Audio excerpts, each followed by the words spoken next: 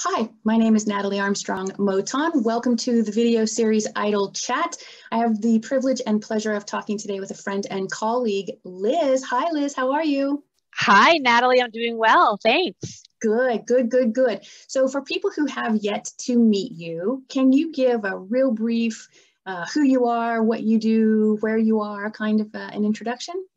Sure. Um, well, I currently work as an organizational ombuds, and I'm here in beautiful Boulder, Colorado. So I work at the University of Colorado Boulder. Um, so yeah, I've been doing ombuds work now for about 14 years. I am also a licensed attorney, um, farm girl at heart. Grew up back in uh, New England on a horse and cattle farm. So yeah, done lots of different things in my life. Very nice. So the yeah. series is Idle Chat, but um, I have a question that maybe is not that idle or, chatty. I'm not really sure. What exactly is an ombuds, ombudswoman, ombudsman, ombudsperson, um, um, ombudsbuddy? Well, I don't know what. You you can use any of them. They are all this day and age. They are pretty much all used interchangeably. Um, the official term is ombudsman. Um, it is uh, a Swedish term that was um, has been around since the 1700s. And over time, as the profession has evolved, what we call ourselves has evolved as well. So you'll find that while many classical and public sector ombuds still use the full term ombudsman, uh, many of us in the organizational ombuds world have moved to shorten it make it a little easier to, to say for one, um, and just use ombuds, um, which also addresses some of the gender questions that have come up. And there's a whole debate out there. Some people will say the term ombudsman is in and of itself gender neutral, others disagree. So ombuds resolves that issue. Um, but you'll also hear ombuds person, ombuds woman. Um, so there's quite a few variations, but um, the term is used interchangeably. However, there are different models of ombuds. So kind of have to dig a little deeper to find out what kind of ombuds are you if you if you were to meet an ombuds. All right. I didn't know it was a Swedish word. You learn something new every day. Yes, yes. Well, thank you for that. All mm-hmm. right, Liz, are you ready for Idle Chat? I'm ready for Idle Chat. All right. So I've got a load of questions here. So we're going to shuffle the deck. Shuffle, shuffle, shuffle, shuffle, shuffle, shuffle. All right.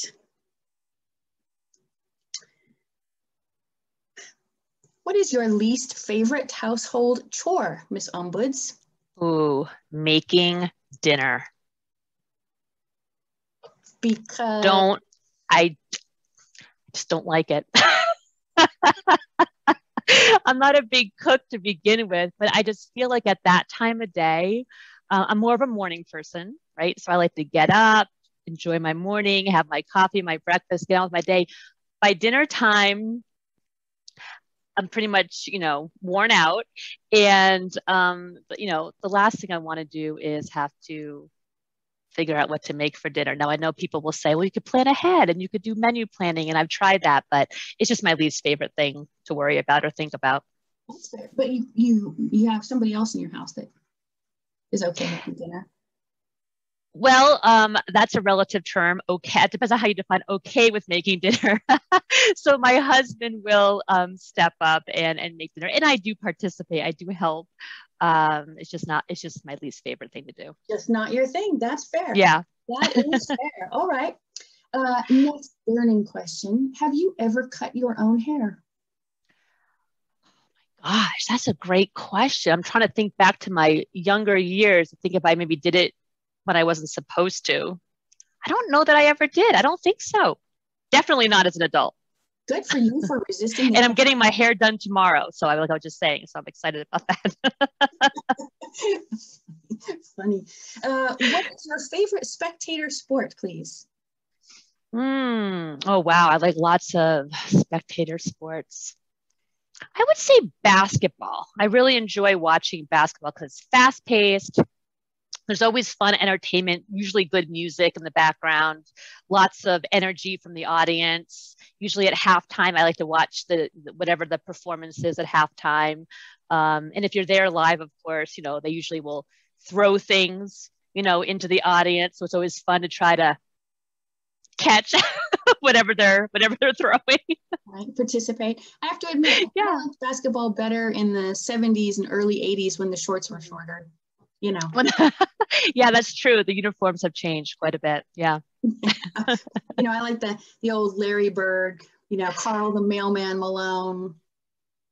Yeah. It's true. I never thought about that. That's right. Yeah. Now that I'm thinking back. Yeah, you're right. It was, it was um pleasing.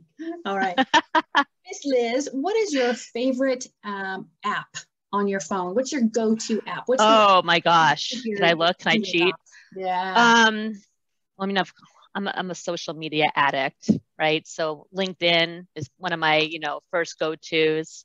Um, but other than that, I'm just looking. I mean, usually I'm plan always trying to plan my next trip. So, you know, Southwest and Airbnb are probably right up there with LinkedIn. I would not have guessed that. All right. mm-hmm. Southwest and mm-hmm. Airbnb. You haven't been able to use them a whole lot during COVID, but you'll get you'll get uh, good use out of them. Oh, yeah. No, I, I I I continue using them. Yes. Mm-hmm. You're just a dreamer, my friend.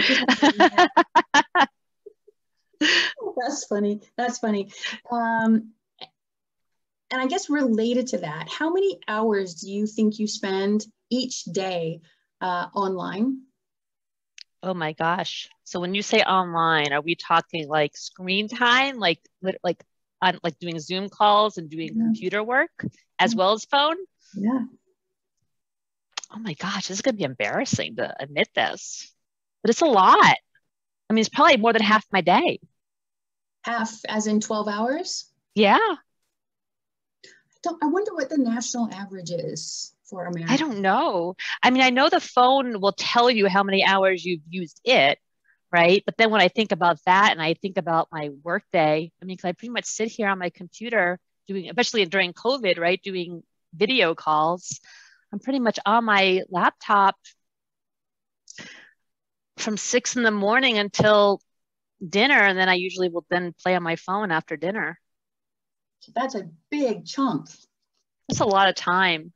I'm sorry. I'm, I'm actually embarrassed. I'm actually ashamed of myself. I'm going to say you're more than you think you are. Your next question. Okay. Moving away from the embarrassing subjects. Okay. Uh, when was the last time you had more than nine hours of sleep? Oh, actually, I track my sleep so this really shouldn't be hard for me to um, to guess. But I would say I think the last time I saw um, my tracker tell me was more than nine was last week. I was on a family vacation up in. So I go to bed early. I get up early, but I go to bed early. And so last week we were uh, on a family vacation. And so I went to bed normal time, but slept in. So I think I ended up getting like 10 and a half hours of sleep. That feels good. it did feel good. It was nice. Good. Um, all right. Uh, changing topics just a little bit. What outdoor activity would you like to try that you have never previously tried? Mm, that I've never previously tried. Snowshoeing. That's a good one. Mm. That's a good one and I can't even explain why I haven't. Like I, I, you know, I live here in the mountains, and I, I love out, you know, I love downhill skiing. I love hiking.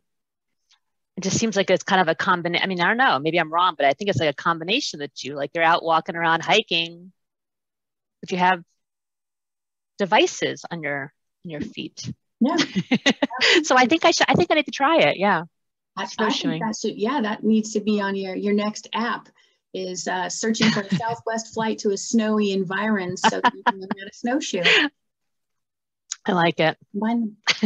um, let's see. Do you ever eat food that is past its, its expiration date, but when mm. you look at it and you smell it, it seems to be just fine? Do you do you push those those FDA encouraged limits ever?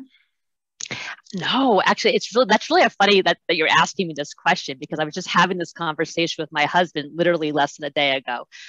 Because he does do what you just described. Like he'll he might look if he thinks of it, but as long as it smells and looks okay, he'll just eat whatever's in the fridge. And I'm constantly going through, you know, judging everything, right? Like taking everything out, like what's the date? And if it's past, I just like start chucking things. Um, the other thing that I don't know, I'd love to hear your thoughts on this now. Like the other thing that is questionable is, you know, expiration dates may be a week away. But if that food has been opened, in my mind, that expiration date is no longer valid. Like within a few days of that being open, like it needs to be eaten or thrown away. So I don't know. I'm kind of a stickler on that.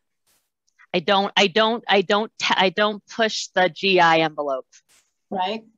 I think Mm-mm. that um, you'd have to look about you'd have to look up the rules and regulations for for because some of those foods have a best if used by date, not necessarily yes. an expiration date.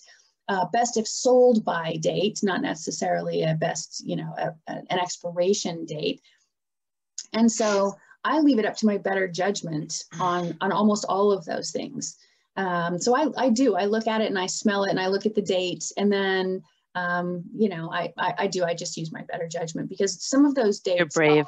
Are, are put there by the manufacturer to encourage more frequent purchasing, not necessarily. And I get that. Yeah, yeah. not necessarily because the, the food item is is you know on its way out. Sure, sure. No, I think that's valid. And um, you're probably right. They're probably very conservative in their dates. But yeah, no, if I see that date, even if it's a best sell by or a best use by date, if it's passed, I'm usually like, right. Now, I, I oh. do admit if it's something that has been in a picnic basket in the trunk of the car all the way back from the beach, when we get home, it's gone. It's it's finished. It it has seen better days. We're we're done. I think that's smart. So yeah, yeah, yeah. All right. Oh, this is a really good question. Now, okay. into the serious stuff. Die Hard. Is it a Christmas movie or not? Oh my gosh. Pressure's on. Pressure's on. I'm gonna go with no. Fair enough, but why? I mean, it has Christmas in the movie. I know, I know, and I, I and I haven't. So, admittedly, I haven't seen Die Hard in a long time, but I do recall. I do recall that that it's based around around Christmas. Um, but when I think, I get, I think it's just more of a perception. Like when I think of Die Hard, I think of the movie genre, if you will. I don't think Christmas movie. I you think know, when I think of Hallmark, I think Christmas movie. like the Hallmark movies or whatever they're called, the Lifetime. it's film. Film is an art, and art is open to your own perception, and your own opinion. So uh, you know, I, not a Christmas movie. That's that's how it is. It's just not a Christmas movie for you. You know what? If I watched it again, and you know, I might feel differently. You could probably talk me into it. You could probably talk me into it. I'm, I'm kind of, you know, I'm, I'm not really committed to this answer. you're, sitting on the fence now. All right. All right. Um, next question, ma'am. What is your favorite city? Wow. That is really hard. Do you have more than one favorite city? I mean, I don't know. I, I just I like so many places that I've that I've traveled to or visited. Um I don't know that I have like a oh my gosh, that's my favorite. How I don't know that I've ever, ever really thought about it. How about this? How about what is your favorite city in the winter?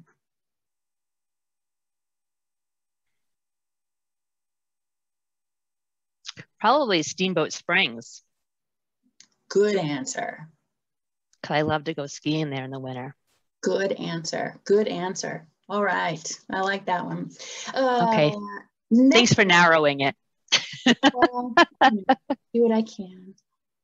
Uh, what is your, or rather, who is your favorite cartoon or comic book character?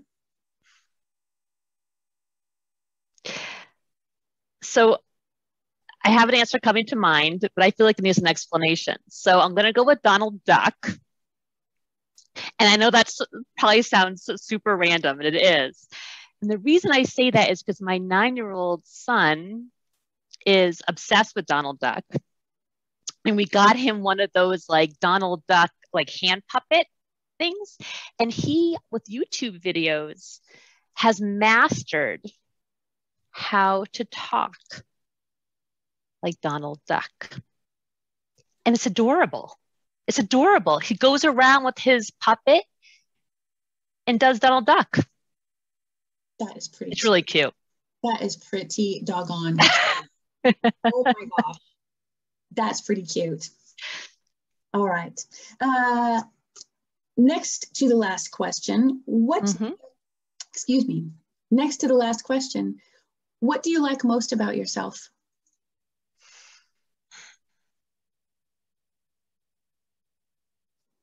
I like my resilience. I feel like um, I have a positive stance on on most things in life, and that I believe, and I don't know, I'm not a, a psychiatrist, but I think that really helps me um, maintain an even keel, regardless of whether things are going really well or whether things are really not going so well.